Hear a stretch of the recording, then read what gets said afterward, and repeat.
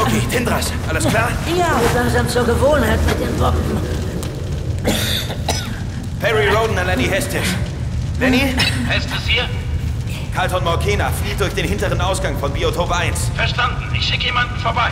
Perry, er hat Taisha mitgenommen. Ja. Ich frag mich, warum.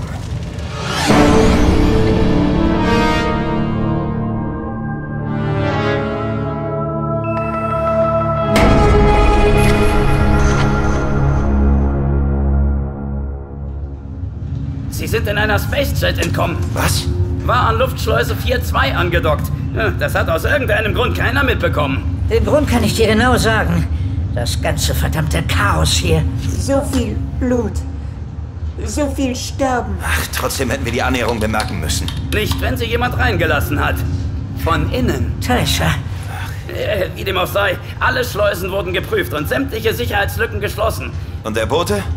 Immer noch keine Spur. Müssen die Splitter des Vitalenergiespeichers wegbringen. das kann ich machen.